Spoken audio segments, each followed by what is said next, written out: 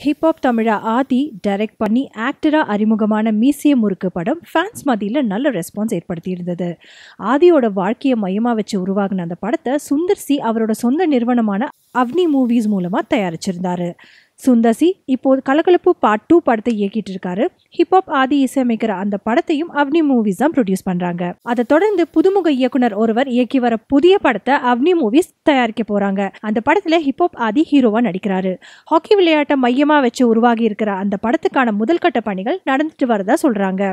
And டிசம்பர்லேருந்து இந்த படத்தோட முதல் கட்ட படப்பிடிப்பு தொடங்கும்னு சொல்றாங்க. மியூசியம் முறுக்கில் இருந்த அதே டீம் மறுபடியும் ஒன்னா இணைஞ்சிருக்கிறது ரசிகர்கள் மத்தியில ஒரு பெரும் எதிர்பார்ப்பை ஏற்படுத்தியிருக்கு.